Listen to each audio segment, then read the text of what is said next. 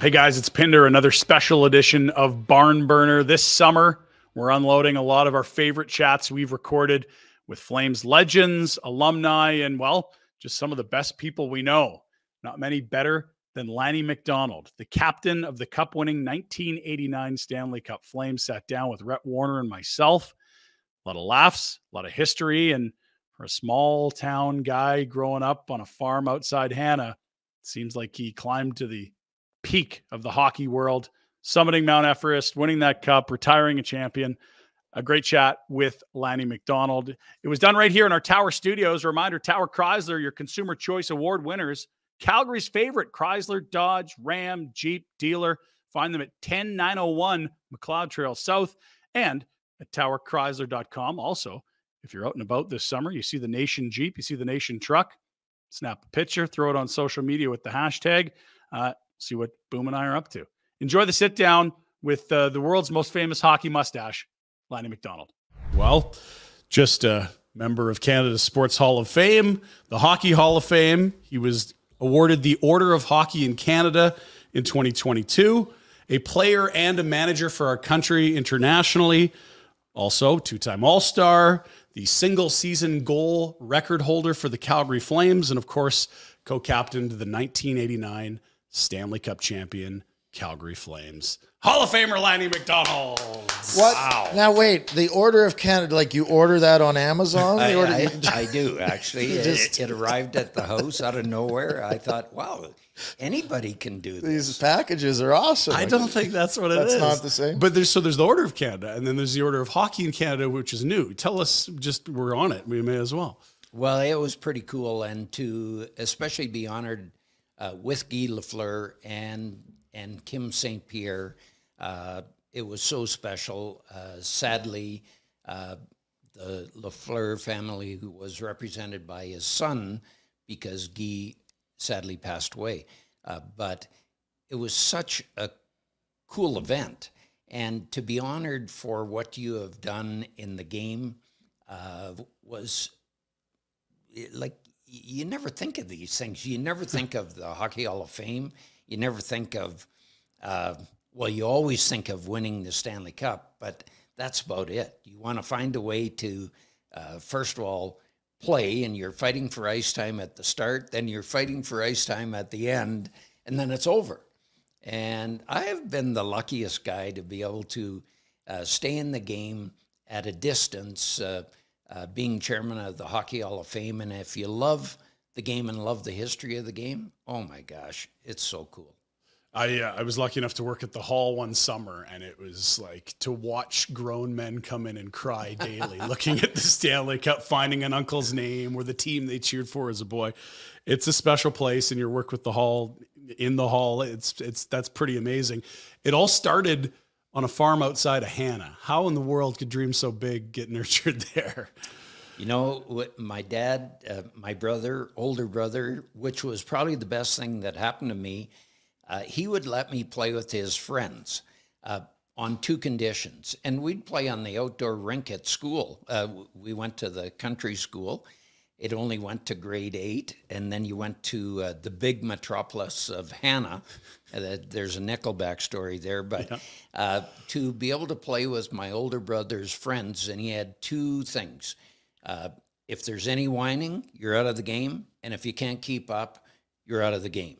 So it was probably the best thing that happened to me because you had to work harder and, and play harder uh, just to be with his friends. And he was four years older.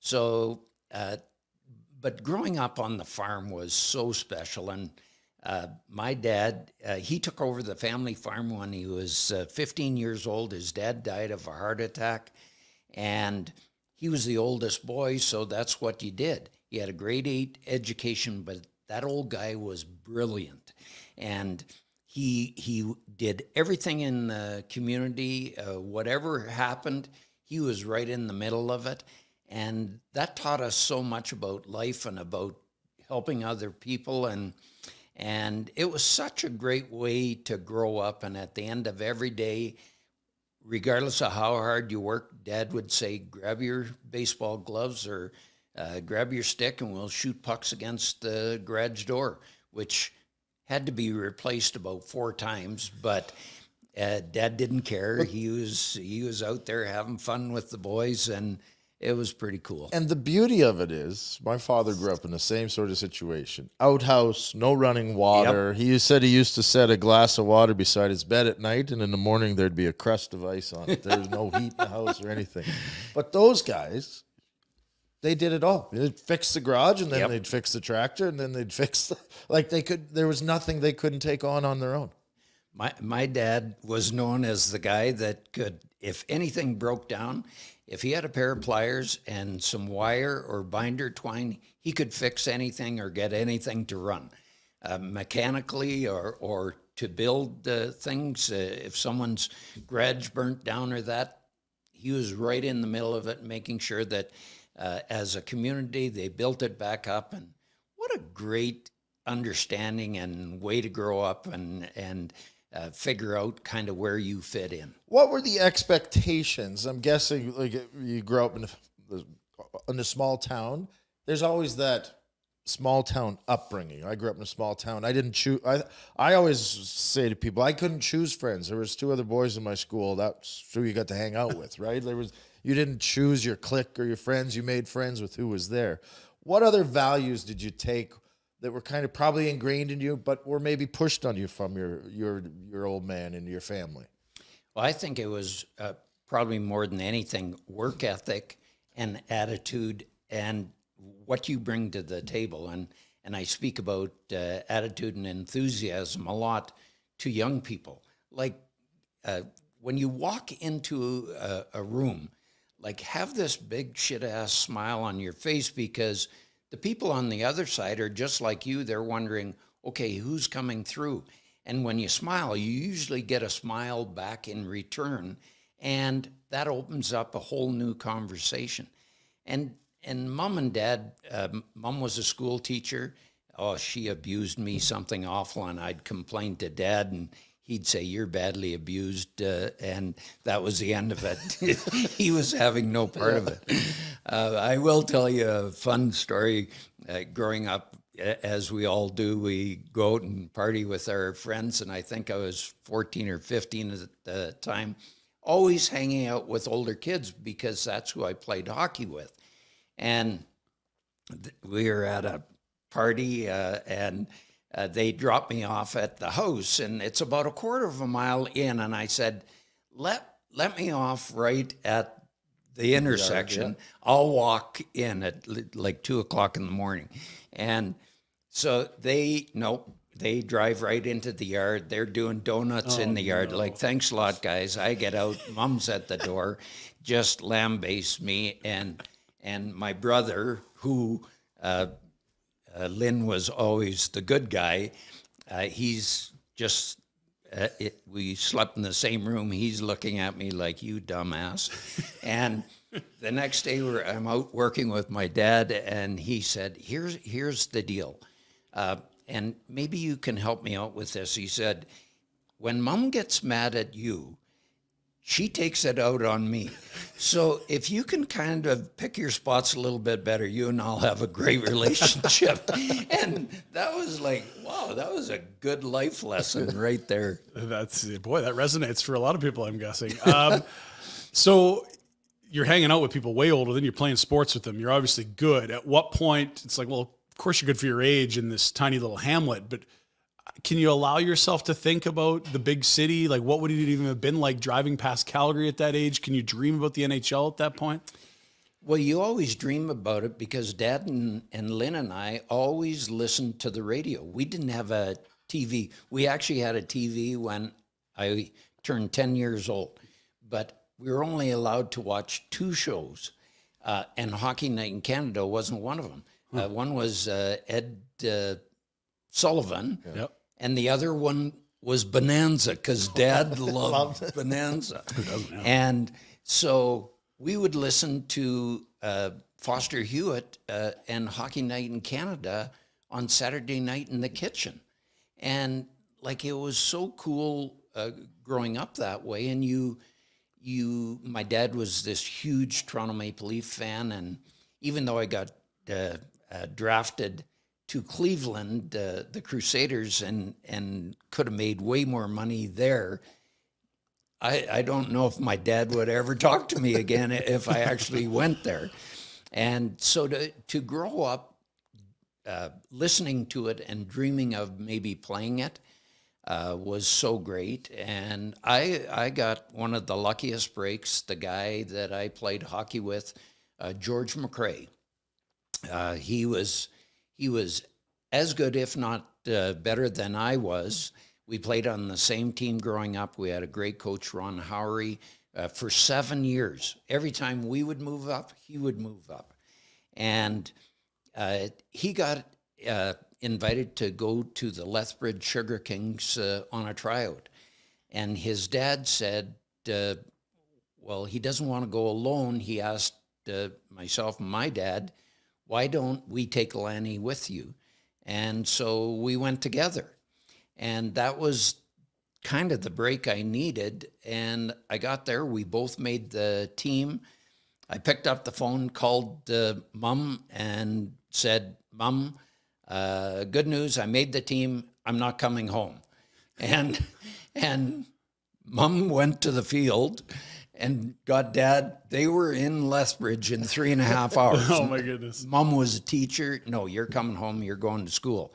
I said, Mom, I'm not coming home. This is what I want to do. And she said, Lauren, what do you think?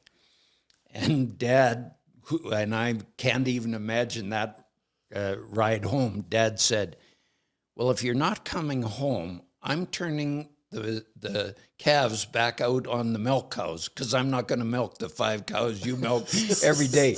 And that was Dad's way of saying, "Yep, you can stay." Well, Mom blew a gasket, and thank goodness they left. And I was like, "Oh my gosh!" How thank- how old were you then? Fifteen. 15. Wow, that's young. Yeah. And two years there, two years in Medicine Hat. And they came to most of the games uh, and never stay. They would turn around and drive home because dad thought the farm would fall apart uh, if he was gone for 12 hours. Pretty cool. So the Sugar Kings were junior A at that point. Medicine Hat uh, was Western League. Uh, you're established as a very high end prospect, and as you alluded to, it's a really unique window in pro hockey where there's the WHA and the NHL competing for players. And to your point, the way the WHA got or the WHA got guys was to be able to pay more, and the NHL was this old boys club that didn't want to pay well. So there you are, a top prospect with two leagues drafting you. There was sort of a thought that you were going to go WHA, but then the Leafs draft you. Uh, and it couldn't have worked out better. Uh, I was actually at the draft. I think there was maybe five players at the draft, and they, they were only at the draft because at that time the draft was always in Montreal, and we played in the Memorial Cup. Uh, sadly, lost the Memorial Cup. Uh, at that time, there was only three teams, and it was goals for and against. Okay. And we lost to, uh, we beat the Marlies, who won the Memorial Cup 3 2, lost to Quebec 7 4. We never talk badly about the referees, but they did not want the West in the final. Uh, and we played uh, uh, 15 minutes of the first period shorthanded. Come on. Yep. We were down 5 1. Uh, we could lose by uh, two goals, but not by three. And we lost by 7 4, fighting to get back into it. And then the Memorial Cup uh, gets played between Quebec and Toronto Marlies, and the Marlies beat them 10 nothing. And it was like one of those sad things, but we were at in Montreal, so we stayed for the draft. And I'll never forget because Quebec, no, sorry, uh, Vancouver drafted third that year. So uh, Denny Potvin goes first. Uh, he was there. Tommy Lysiak, my center iceman, went second to Atlanta. Vancouver, I'm thinking, oh my God, they're going to take a Westerner. And they take Dennis Ververgaert. And I'm all excited. Oh my gosh, this dream could come true for Dad and I. and they draft me, and King Clancy comes over to the wall and takes me over to the table and introduces me to everyone at the table. And it was so cool. And it, the, this room was jammed. Uh, Were you nervous, or like, or, is, or was it just pure excitement? oh, like, is it? just pure excitement. Yeah. Uh, I was nervous walking over to the table because these were people you you saw on television and uh, were were talking about all the time. But it it was just uh, so good and and to have that dream come true for six and a half years, even though I got traded, uh, you know what? Uh, I love Toronto, and to be able to go back now with the Hockey Hall of Fame, I know so many people, and it's fun hanging out. And we try and I try and make sure that when we have meetings, especially through the winter, I'll look at the Maple Leaf schedule so that I can double up at night Yeah. and go go see a hockey game. And no, it's cool. Was there anyone from that day at the draft that you that you had really idolized and and that kind of took you under their wing and, and made you feel comfortable?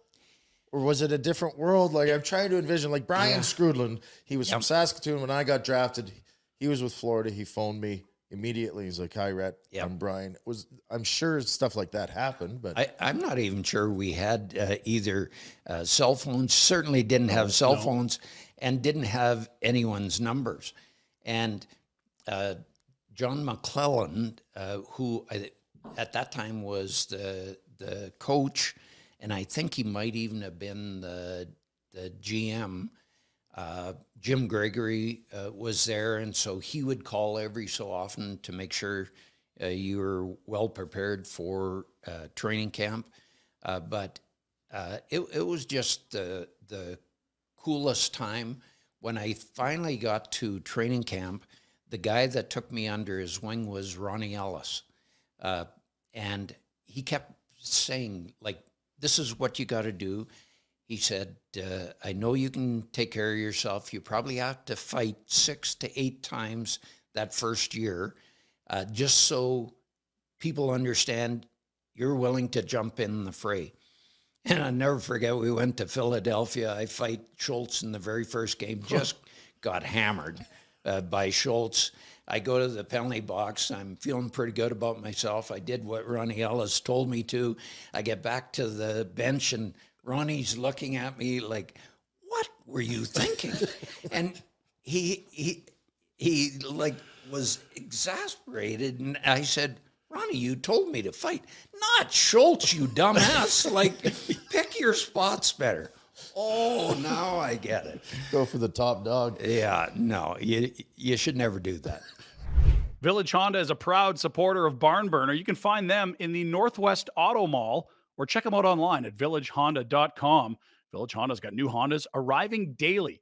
Drive away in your new Honda from Village Honda, your dealership for life in the Northwest Auto Mall and at villagehonda.com. The Hearing Loss Clinic has been helping change people's lives for the better since 1993. At the Hearing Loss Clinic, it's never been about hearing impairment. It's been about empowering you to be socially active, more connected with those around you, and confident in every aspect of your life. People of any age can suffer from hearing loss, and studies have shown that serious health risks have been linked to untreated hearing loss. They have nine locations to serve you, four in the city of Calgary. Make a healthy choice and book an evaluation today at hearingloss.ca. Okay, so f- w- was Toronto just uh, did it blow your mind, or had you been traveling enough with junior hockey that going to a city of that size wasn't a big deal? You, you know, Montreal for the draft you'd alluded to. No, it was, it was a big deal. Yeah. Uh, like when you come from the farm and Hanna, which is probably, I think it, it at that time it was probably 2,500 people. It went to about 3,500, and now I think it's back to 2,500. Uh, and now you go to Toronto, and, and at that time, I think uh, 3 million plus in the Toronto downtown and a little bit of the surrounding area. Now, my God, if you take in uh, all of it, Mississauga, and uh, it goes all the way to Hamilton, I'm sure it's probably 8 to 10 million. Uh, it was so big, and I was like a not a kid in a candy store. I wa- I was lost. I, I, uh, Ian Turnbull uh, and I both got drafted together. We we ended up having apartments in the same complex, uh, straight up Yonge Street uh, at St. Clair, because it was so easy to get back and forth No to turns. the rink. Just go down no turns. Just go, go to Maple Leaf Gardens, and there you were.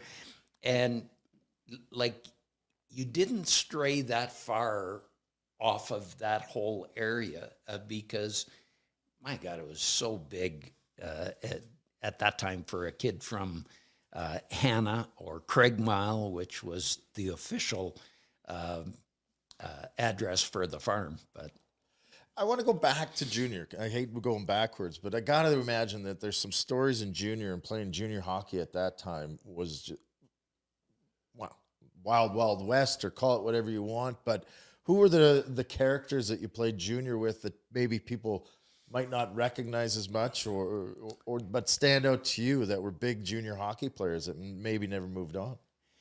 Well, this guy did move on. Uh, I played uh, uh, in uh, Lethbridge with John Davidson. Uh, and John Davidson was our goalie. He was also our best fighter. and and uh, John was this big, fun loving guy. The parties were always at his place uh, where he boarded. And uh, we laugh about it today because uh, John just retired as uh, chairman of the selection committee, uh, and he was on the selection committee himself uh, before that. Uh, he spent 24 years with us at the Hockey Hall of Fame, and we got in the, the taxi heading for the airport. This is probably two years ago after the election for the newest members. And we look at each other and we both start laughing. Like, can you imagine? Here's two kids uh, from the Lethbridge Sugar Kings, Yeah. uh, chairman of the hall and chairman of the selection committee, and and we still chat all the time. Uh, he's been a great influence uh, on me.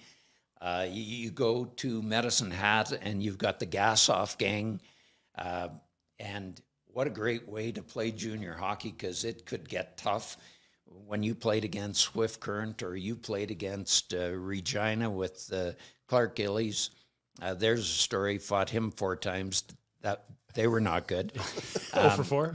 yeah, there's there's a common theme here. um, but uh, no, it it was uh, e- everywhere you played, you had these characters. Uh, the Gassoff uh, boys, we had Jim McCrimmon, who I believe was the last cut from the the Edmonton Eskimos. Uh, he played football uh, as well, and so you put Gassoff on one side and McCrimmon on the other side, uh, and that was our penalty killing.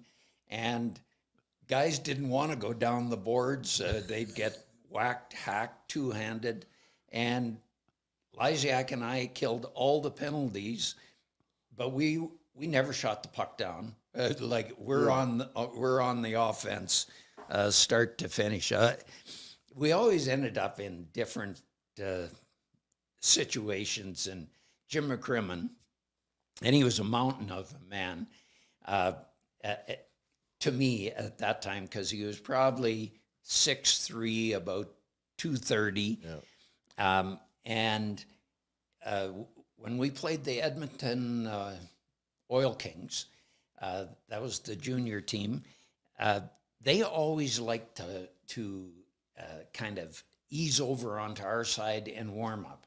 And Jim and Bob would always say, "Guys, like." Get your ass back over on that side, uh, your side of the ice, and they wouldn't listen. So, Jim told us before we went out for warm up, if this happens again, get ready, boys, because I'm going to shoot on their goalie. and sure enough, eh, they wouldn't listen. Jim takes, uh, he, he tells us, all right, here we go. And he goes straight up the middle of the ice in between their two lines, in on their goalie, takes a slap shot. Well, Yeah. we're all, the refs had to come out with running shoes on. A whole bunch of people got suspended. Oh my God, it was, that was junior hockey at its finest. What about your first NHL game? I remember mine. Oh, and you're my nervous God. as hell, and you get the jitters. Uh, Can you give us some? Well, it, it was good and bad there uh, as well. I, I'm playing with Davy Keon and Dennis Dupere. And uh, Davy was one of my heroes growing up as, as a kid. And this is so cool. I assist on both, uh, we're playing Buffalo. I assist on both of Davy's uh, goals.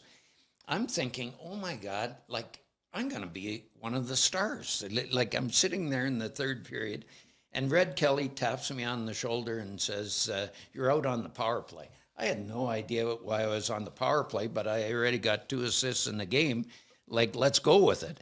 I get out there and I grab the puck back in our end. I'm steaming up the left wing, and I think it was, I'm not even sure, it was either uh, Jerry Korab or Richard Martin, one or the other, stepped out of the penalty box, go to throw a Rick hip Martin. check, hip check at me. Rick Martin, is that right? Yeah. Yeah. Okay. I'm Sorry, I, I read this last night, so I, I thought Yeah. I'd help you with the name. Uh, and I think, uh, shit, I got two assists in the game. I'll just jump up over the top of him.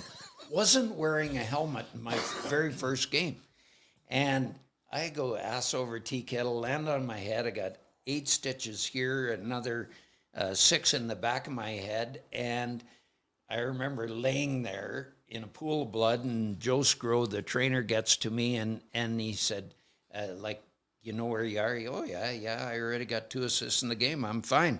And he knew right then, like, totally kookaloo. They, they take me into the training room uh, and they have a look at me. Obviously, I got a concussion and they send me to the Wellesley Hospital. And I couldn't believe how incompetent the nurses and doctors were. Obviously, they weren't watching the game. They wake you up every half hour. What's your name? What do you do for a living? Come on, guys. I already got two assists in the game. And uh, that was my very first game. Uh, so here you you think you're thinking you're going to be a star and you end up in the hospital. Didn't play for the next three games. And uh, put my helmet back on and uh, the rest was history. Uh, 1110 more games uh, with a helmet on and thank god it happened in the first one What was the dynamic in Toronto? Because we talked about it. You come in and you're actually making pretty good money as a rookie, which had, wouldn't have happened to a lot of your teammates because the WHA wasn't there. It's a huge market. I'm sure there's some big egos amongst the stars. Like, did you have to win them over? Because it was, it was a sort of a slow build to you becoming a 40 goal guy. Well, it really was, and uh, Normie Ullman and and and Ronnie Ellis uh, were always really good to me.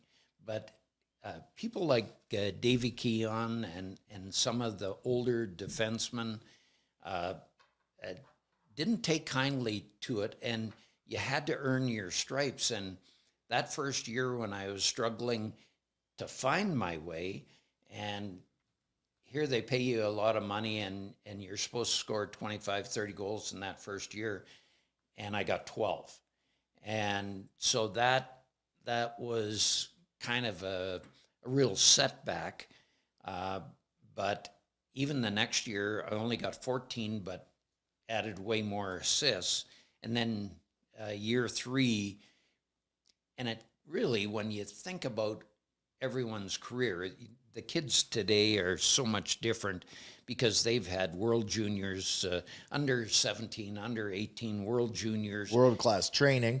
World class training and they just step in. Our world class training was have fun the whole summer and get in shape in uh, or a week before training camp. And that's obviously not the way it is today but that's the way it was back then. Uh, there's even a letter that I I got way back uh, whenever to uh, make sure uh, when you come to training camp you bring your golf clubs and hopefully you've had a good summer. bring your golf clubs. Oh, well, I didn't even own golf clubs at that time. Got to take up a new sport. Yeah. Did you ever? You say you got twelve goals your first year. It's you're in Toronto. It's it's big time. Did you ever question yourself? uh, all the time. Uh, like you, you knew you had it, but you just couldn't bring it out. And one of the keys was after, at the end of the first year, I went back to Medicine Hat. Uh, we ran a hockey school there.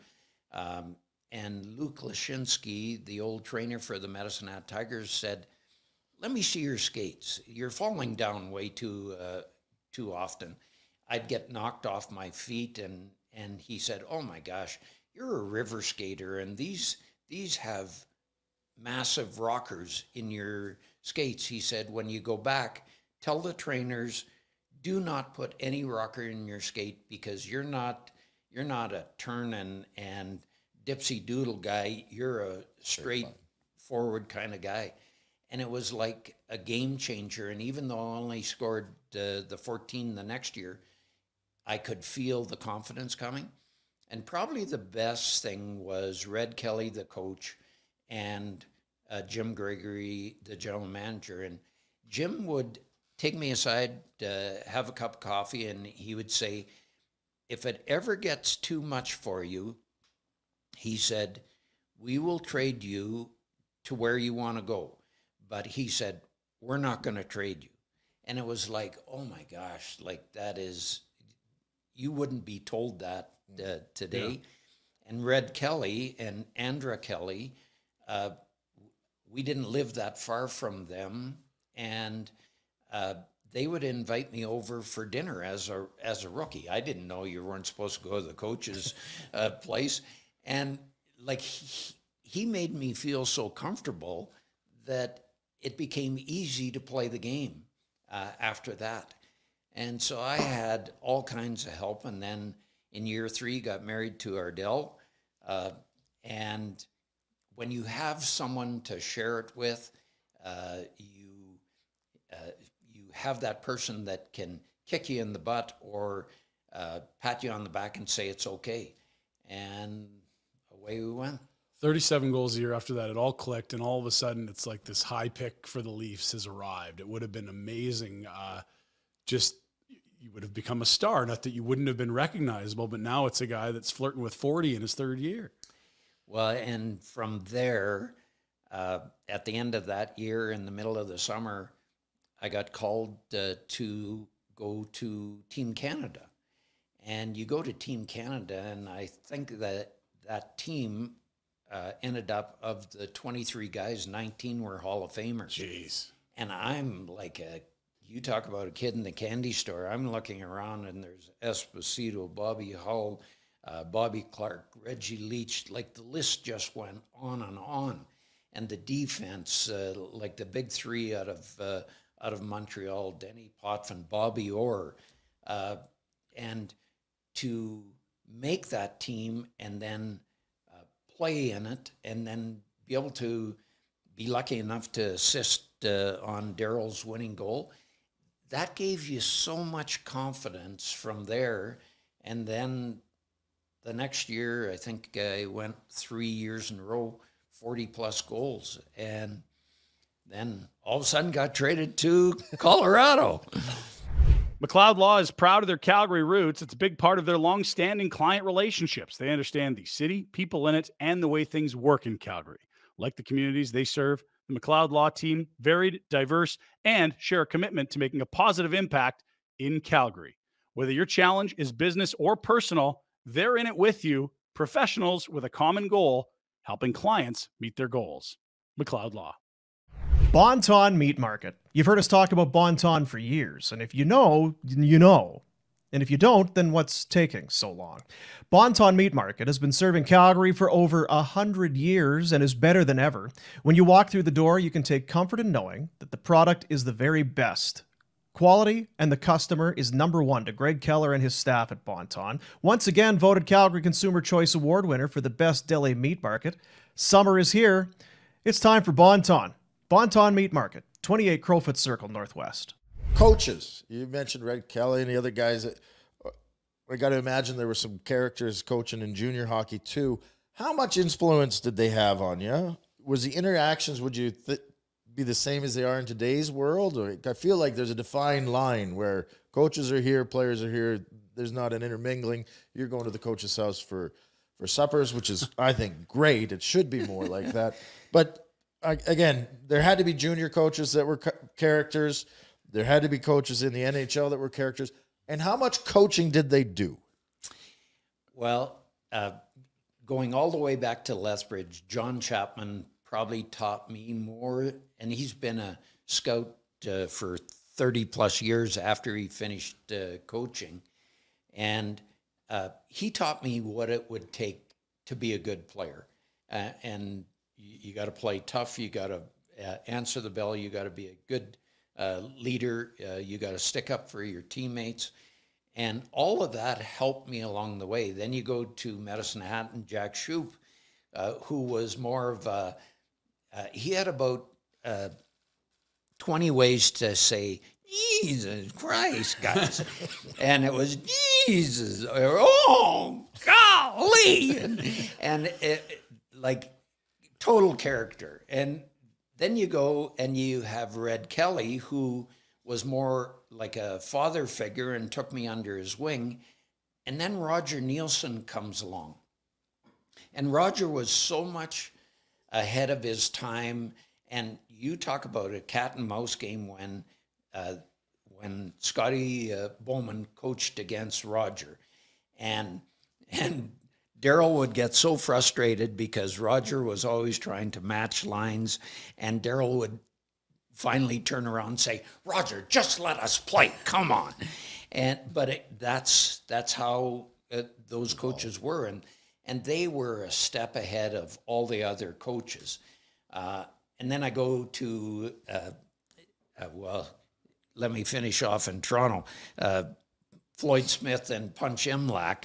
Uh, that was not the way to actually play in the NHL. Uh, so enough of that. You go to Colorado and you have Don Cherry, and and Don was awesome. He was he was never an X and O or a great coach. He was a great motivator, yeah. and guys would go through the wall for him. And then you get traded to uh, Calgary, and you have uh, Al MacNeil, who I love to this day, and uh, the knowledge uh, and the understanding of the game that he had and yet then uh, a second Roger Neilson comes along and Bob uh, Johnson. So I've had some of the greatest coaches, and even when we end up winning the cup, and I always felt badly for Bob when we didn't win the cup uh, with him here because he was such a large part of it, and Terry Crisp comes in and finishes it off. So I've been really lucky uh, and you talk about a mix across the board. Yeah, uh, it was so much fun. Well, there's some Hall of Famers in there too. That's that's wild. Like big, big name coaches. Uh, coming back to Southern Alberta would have felt like like a homecoming of sorts because you played junior in Lethbridge and Medicine Hat. You grow up in Hanna. You you become this hockey star, and then somehow, some way, you end up in Calgary, Alberta. And I was worried. I, I thought, oh my gosh, it's so close to home, and uh, will they actually uh, accept it? Because I got traded for two very popular guys, uh, both in the city, but also in the dressing room. Uh, when you get traded for Donnie Lever and, and uh, Bobby MacMillan, uh, that's tough. And, but coming back, people, people always made you feel like, oh my gosh, he's he, this long lost son has come home. And they made me feel great, like right out off the bat. I, I'll never forget, I had a separated shoulder when I got here. I came back early because I think we'd lost nine games in a row or something. And I'm sitting in the whirlpool, and Peplinski comes in and he said, Oh my gosh, we got damaged goods. Like, what a bad trade. And then I reminded him, oh, there was a fourth round draft pick that came with it. it's not just me. his, his name was Bill Claviter. I'll never forget it, who never ever played a game, but at least he was a part of the trade. Rounded it out. But it, apparently, you were greeted with an incredible reception, and all those concerns were probably quelled pretty early. Uh, they were, and and even uh, even uh, in the dressing room knowing that you were playing injured.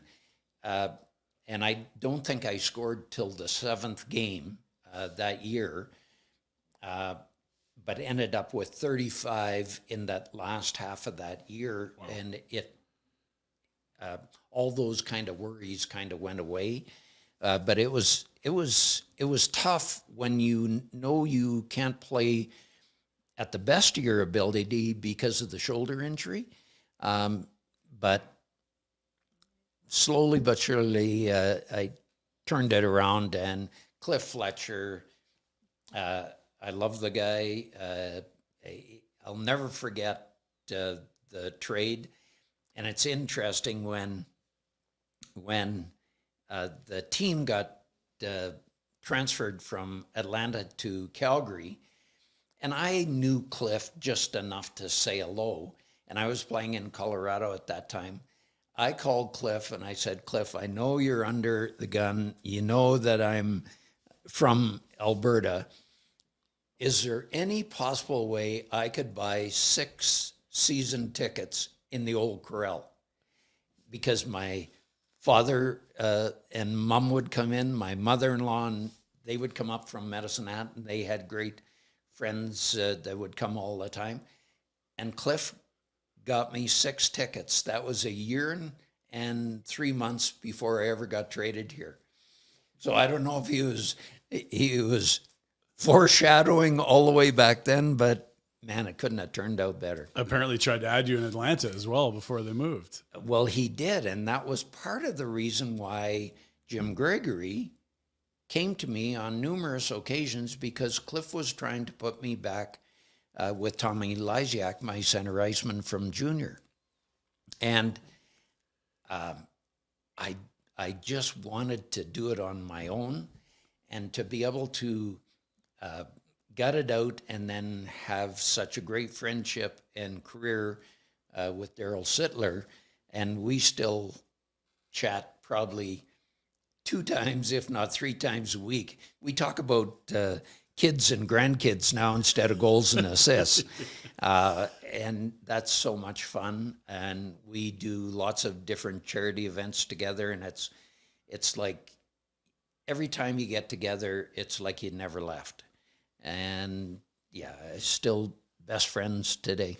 I've got one last hockey one because there's so much of your life that is, is incredible that happened after you stopped playing, which, you know, I, I don't want to say is uncommon, but I almost feel like you've got notoriety amongst people that never even saw you play because of how significant your, uh, you know, things outside of hockey have been in your life.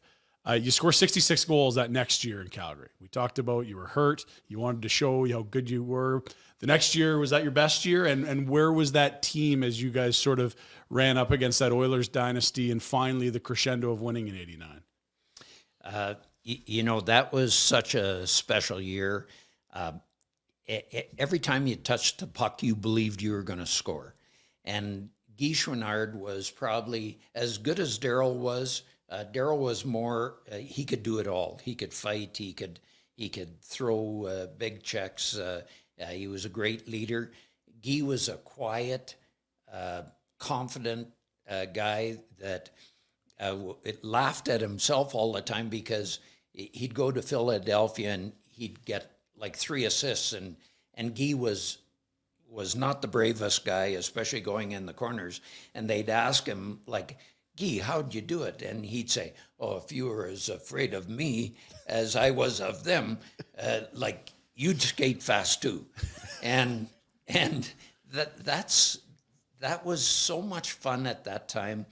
Played the first half of the year with Eddie Beers on left wing. Played the second half with Dougie Risebrough because Eddie got hurt. And it was a magical year. Uh, but Bob Johnson and Cliff were working all that time trying to figure out a way to uh, play hard enough to to be able to compete with the Oilers because they knew if we could beat the Oilers, we had a chance to win the Stanley Cup. And you think all through those years, uh, Montreal, uh, uh, Edmonton, and ourselves were kind of three of the best. And if you could get through the the Oilers, then you had a great chance, and we we finally do it in '86 and and lose to Montreal in the final. And boy, things happen for a reason, and you get a, a chance to do it again in '89. And by the way, we thought in '86, like we were that good. We're going right back in '87, right back in '88, and it takes you three years to get back there again. And we knew if we didn't win, it was over. And and you think of uh, Al MacInnis winning uh, Conn Smythe that year. Uh, Mike Vernon could have won the Conn Smythe on the first round alone. Game seven. Game seven. Uh, in overtime, two one timers, Tony Tanti and Petri Skriko, and Stan Smyl on the breakaway, and he stops all three. And we find a way to win it. And then the rest is history. You, you become the only team to ever win on the Forum ice. Uh, and then the cup trip home, uh, because uh, Elmarie came to Pep and I and Timmy Hunter and said, I can cut the locks off uh, the Stanley Cup, which is in, in the bottom of the, of the plane. And we said, oh my God, go for it. And we were on an Air Canada flight where there was a back door and you could come up the back stairs. So we put it in the, we shielded him. He got it up the back stairs, put it in the bathroom, put a, a, a out of order yeah. on the bathroom. We're up in the air 20, 25 minutes, and the captain comes on, congratulates uh, everyone on winning the Stanley Cup. And he said, By the way, we have a special guest on board. If you turn around and look at the back, and Elmarie comes out of the washroom with the Stanley Cup. Well, the party was on from from there. We tried to get Cliff to stop in Winnipeg for more booze because we had run out of booze by the time we got to Winnipeg, and and he said, "Guys, Winnipeg closes up at nine o'clock. It no was like we have no chance." So I think we landed at five o'clock in the morning or whatever, and there was like twenty thousand people at the airport. It was craziness. What was the room like in Montreal? Like, was there lots of family that had traveled, or was it just the guys? Right, like you went on the road, and it's a different yep. world now. I got to imagine teams fly family and friends in now. Back then, it was it a smaller group, and you just kind of shared it together. It, it was a smaller group. I think there was three wives and two uh, significant others. Uh, uh, I'm not even sure if they were engaged. Yeah. Uh, but uh, as soon as we won, Cliff said, make sure like we're all going home together. So uh, you had the everyone that was important. He had taken quite a bit of the staff uh, to Montreal uh, with us. So the wives, the girlfriends uh, that were there, and all the owners, and there's a great picture of, I think, five of the six owners that were there at that time uh, on the plane with the Stanley Cup, all huddled together. And that ownership taught our alumni so much about giving back to the community, and we're still trying to do it today. What about some of the old rinks? Are there rinks that you liked going into? Some that were just horrific and terrible? Like, people always ask me what was your favorite rink to play in. I loved going into the old Spectrum in Philly because they hated you. Philly fans hated you. They wanted you to be hurt and injured, and uh, and I loved beating them. You didn't well, always do it. You also came into league when you were just losing some of those great yeah, buildings like Montreal, Maple Leaf Gardens and yep. you know Boston Gardens. The Chicago Stadium is uh, supposed to be insane. Uh, I I think I was the luckiest guy. I played in all six original buildings. Wow. And uh, you talk about uh, Chicago, and probably one of the greatest fights I've ever seen in Chicago was in the stands, where where uh, in the middle of the game this fight breaks out, and the whole lower bowl was chairs, like they weren't attached to the floor, and people were beating each other over the head with chairs. One whole section was in a fight, and the cops, because it was a bad area, the cops came out of nowhere, uh, and they turn off all the lights in the building. That's the only way they broke up the fight.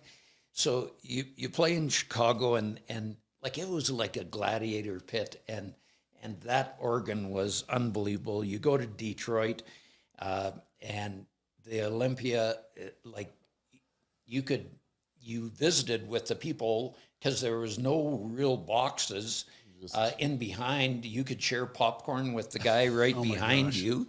Um, and Boston Gardens with those tiny corners uh, and people yelling and screaming at you. And like it just went on and on. And to be able to, like I said before, win in Montreal uh, and Maple Leaf Gardens, like still today, um, we've been back for numerous different charity events uh, there.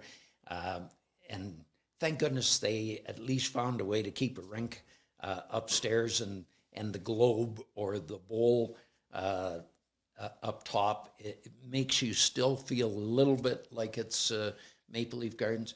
It, it was just the greatest. And then you go into New York and, and the circus had been there the night before, and it's like, oh my God, uh, nothing could smell worse than than that.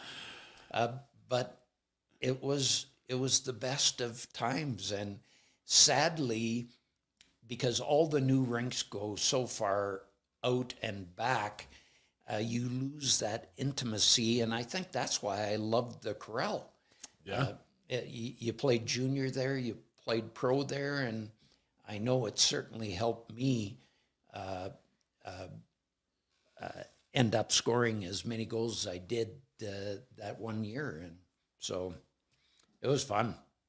So you noted that the ownership group taught you about giving back to the community. It's something that you, as you noted, a lot of that '89 team has taken to to heart seriously. You're a huge part of the Flames alumni. You now have the 04 group that's in there as well as some other guys trickling in along the way, people from other organizations, but tell us about the, some of the initiatives you're proud about, or at least what's front burner right now for you, because this is the time of year where everyone does have their big charitable events. It's not minus 20 outside, and people are excited to get out and do stuff. Well, when you think about uh, donating as much money as we have through the alumni, uh, the difference we've made with CP Kids, uh, Special Olympics, uh, Ronald McDonald House, Children's Hospital, list just goes on and on. And to have nine guys from the Stanley Cup team live in the city, that's that's unheard of. Uh, I think in any city, uh, yes, uh, Toronto has way bigger numbers than we do, but to have made our alumni when we first started it because we didn't have very many guys, we made ours the Calgary Flames NHL alumni so that a guy like Mike Rogers uh, or or a guy like Lindsey Carson wouldn't get back to Philadelphia or Mike wouldn't get back to New York or Hartford. They can be a part of ours, and those guys have made our alumni so much stronger. And yeah, it has been so much fun to uh, be a part of it. Dana Murzyn ran the, the golf tournament. We we turn probably $150,000 a year right back into the community. Uh, we do uh, the brown bagging box lunches for for the kids, and you talk about trying to make a difference.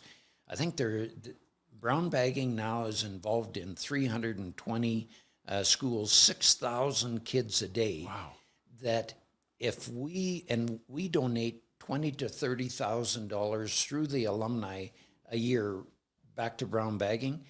If we weren't a part of it, uh, we would never have known like there was such a need, and to be able to help uh, change that or or be a part of making sure kids are are fed, and if you're hungry, chances are you're not going to learn uh, very well or very much and we gave them a chance. So you feel good. Vita Nova is Calgary's lab grown diamond specialist. They're the only store in Calgary that specializes exclusively in lab grown diamonds. You know, you're getting the largest selection of loose lab grown diamonds and jewelry in the entire city. Savings from lab grown diamonds can be as much as 80% off. Visit vinanova.com or check them out in their downtown showroom on the second level of Stephen Avenue Place. What is a lab grown diamond? Well, lab grown diamond, simply a diamond that's been grown in a lab. They have the same chemical composition and crystal structure as natural earth mine diamonds. Due to its identical nature, lab created diamonds have the same hardness, right refraction, and pretty much the same as a natural diamond. Only difference they're lab created and referred to as synthetic because they are chemically and physically the same, but are man made. Be confident knowing you can save up to 80% compared to mine diamonds pretty much across the board. You want a custom design done? Vina Nova can do that as well. Just give them a few weeks of heads up to complete your custom piece. Find out more at vinanova.com. There's a great study out there that actually says that the, one of the best ways to change the world is to feed the people that are hungry. Because if you're hungry, you're not thinking about anything else. You're No. not productive, Survival mode. You're not. Yeah. It's uh, it's the most. Forget how they termed it, but it's like the most cost-effective way of of changing people's lives and, and, and improving society. So the the alumni does a lot of that stuff.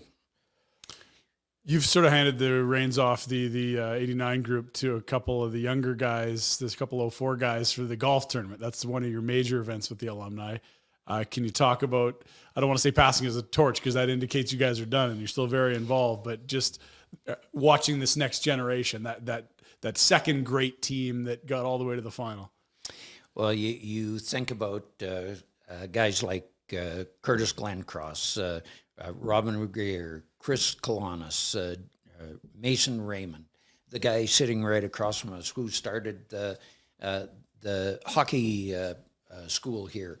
It, it, in, then you add in Mike Commodore and, and like I said, uh, Robyn Regehr, who took over the, the golf tournament after Dana uh, Pep started it or was a big part of it to start with. He handed it over to uh, Dana, who ran it for about 25 years.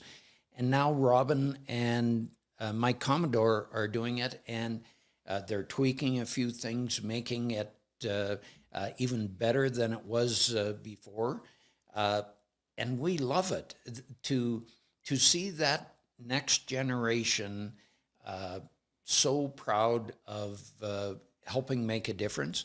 And I think we have around 50 actual uh, Calgary Flames live in or just outside of the city, and another just about 100 that played in the NHL. So we basically have 150 guys to call on at any time, and it's been wonderful.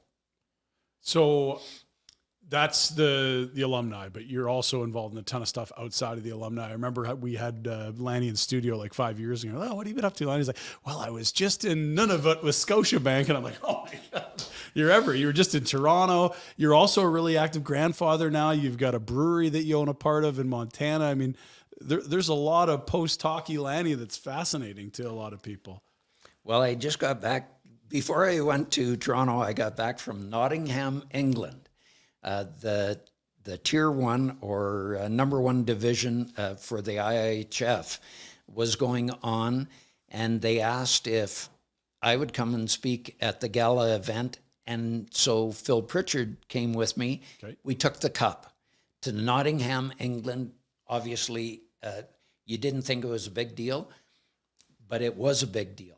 People lined up from nine o'clock in the morning. We opened at 10. There was an hour and a half wait all day long until the game that night at seven. Uh, and uh, the UK was playing against Italy, had to win the game to make it up to the World Championships for next year, and won the game in a barn burner. uh, uh, and like 8,000 people jammed in a 7,500 seat arena, like chanting from start to finish. They had experienced the cup all day long. Uh, it was a fantastic, uh, fantastic trip. I get home, uh, go right back to Toronto. Uh, we've had uh, great meetings on Monday and Tuesday. I get to hang out with the grandkids. That's this the Hall of Fame. Just to Hall of Fame. Yeah. Yep. Uh, uh, but in the meantime, uh, probably three months ago, uh, I got asked to come back on board. I was uh, uh, chairman of the fundraising for the Ronald McDonald House 40 years ago. Uh, my dear wife Ardell and I, and they asked if I would come back and help them out again. They're expanding from 20, no, 30 rooms to 90 rooms. Whoa. And they're doing the same thing in Edmonton. So I contacted Kevin Lowe to see if he would be my counterpart up there, and he graciously accepted. And we're having the groundbreaking on June 14th for the expansion of the Ronald McDonald House. I couldn't be prouder after 40 years to uh, help make a, a difference uh, again. And uh, they have put, if you can imagine, 40,000 families in 40 years through the Ronald McDonald House, and they're only, uh, they're only, uh, uh, what's the right word? Uh, So their mission, on- their prerogative. Requirement. no, they're they're only taking care of fourteen percent of the actual need. Oh, so the So they're the- doing everything it can, and it's amazing how many they've put through. But clearly, Yeah. there's So the expansion was crucial. Yeah, and uh, so we're trying to help make a difference. Uh, Peter Allen, who's on our our uh, board. alumni board, uh, has jumped in and he's helping me with the oil and gas people. Uh, it's amazing how uh, you talk about family or teammates. Uh, teammates come together and you uh, you can't do it alone, but with the good people around you, and our alumni is good people, uh, you make a difference, and that's where we're at. And I love every day. Do you get some downtime, or is it Grandpa Oh. at the lake time, or what is it? Oh yeah, it's Grandpa at the lake time. Uh, we had uh, we have eight grandkids, six boys, two girls. Thank goodness the last one, uh, uh, Olive, uh, Olive, who is only eight months old, is a thing of beauty, and my dear wife was so happy. Okay, now I can spoil two girls because the boys are all they're all in boys. Let me let me tell you, as Rhett knows all about boys, uh, and it's so much fun. Amazing. Um, what are are you in Montana a bunch? Because that's kind of become your second home in a way, hasn't it? Well, it really has. Uh, over the summer, uh, I have to come back for different events uh, from time to time, but over the summer, we try and regroup as a family. Uh, uh, lots of times, uh, we only have two grandkids here in Calgary, but the two grandkids that are here, they'll come down, they'll stay with us for a month. Wow. So we we have all kinds of fun there, and they love their cousins, and and we get to regroup as a, as a family. Uh, we have the family uh, brewery down there. I'm on quality control, best job I've ever Are had. you hiring? I've heard about this. No, you- you're like 400, 400th in line. Uh, sorry, sorry to let you know where your standing is, That's all right. That's honest. but I'm not giving that job up for a while. What about the kids? They're involved in all kinds of stuff. The grandkids are running around.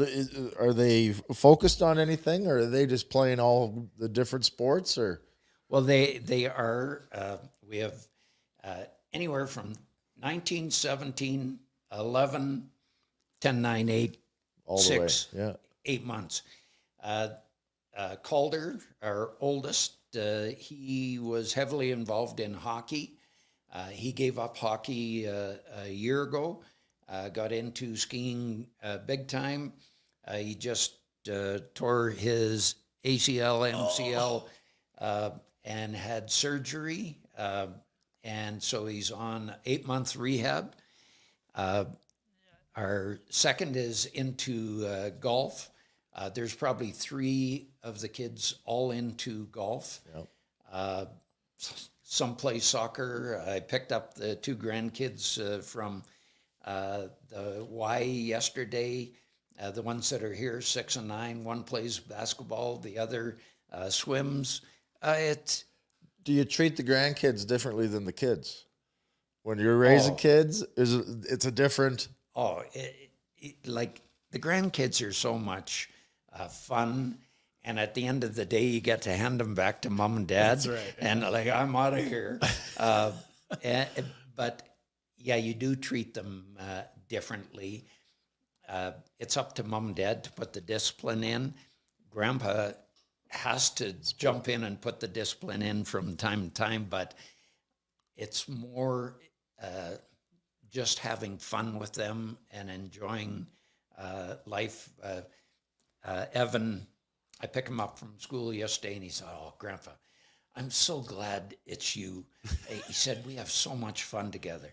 Well, that just melts your heart. Like, talk about making your day. Unreal. Uh, we've only got a couple minutes left. Uh, I wonder where you're at because you seem to have this, you know, inexhaustible supply of energy. You're on the go. You just talked about, you know, you're you're in Toronto. You're back. You're off in a couple hours here. Uh, do you envision the next sort of five to ten years as taking on more huge projects or finding a way to wind things down and spend more time with family? Because uh, I mean, it seems like anything you, set your mind on like Hall of Fame work, a brewery. You know, you were in uh, the management side of hockey. You were in the marketing side for the Flames forever. Like, how keen are you on taking on new projects versus that balance of family right now?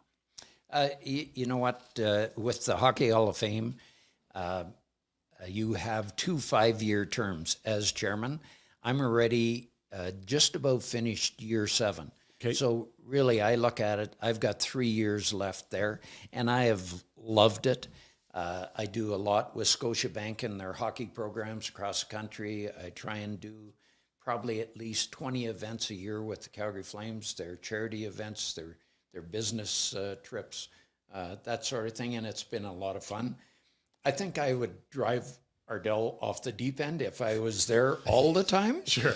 Um, and she knows, and our kids and grandkids uh, all understand that uh, what I do. Uh, we've had our kids, uh, when I would go to the children's hospital as a player, I took my kids with me all the time at Christmas time to hand out gifts to the kids because that teaches them kind of what is important to us as a family.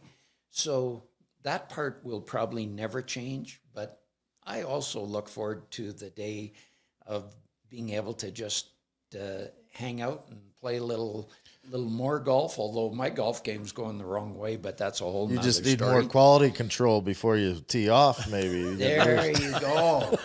I feel like Montana's going to solve a lot of these problems. Well, thank goodness. Uh, speaking of Montana, the kids, uh, our oldest uh, daughter Andra and her husband Josh, uh, they run the business and they are great at it. And uh, I, I get to visit with all the people and hang out and have fun.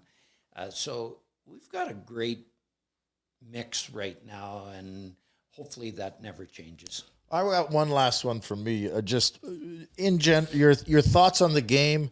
Uh, for me, the kids are so talented nowadays. Uh, it seems like leads don't matter anymore. And there was an era where if you were up by one or two, it kind of they closed the door on you.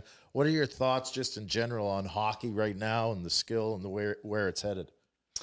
Well, you, you look, you talked about the skill, but you look at the young players coming into the game and the notoriety right now that's going on with the, uh, the young man out of Regina, Bedard, Bedard. Uh, and and the difference a guy like him, a generational guy, can make for a franchise. You look at, at Connor and and Leon uh, up north, and and the excitement in in the the game because of it. You you look at some of the great young stars like Eichel in in Vegas and and the the gifts that they had have uh, from a pure talent standpoint, or Jason Robertson uh, in Dallas.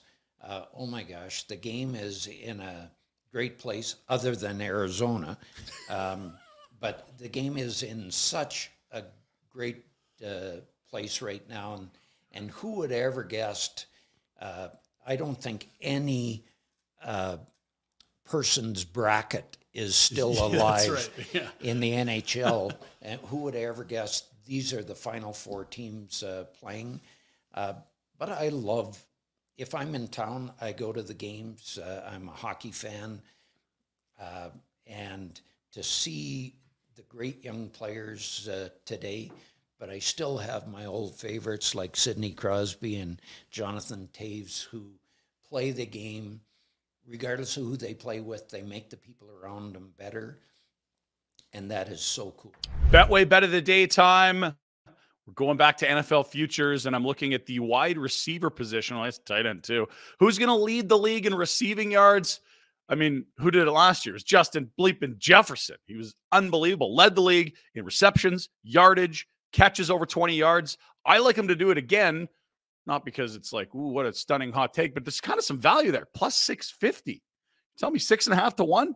Justin Jefferson, the man, can't do it again. I'm not buying it. I think he can. Let's go get it.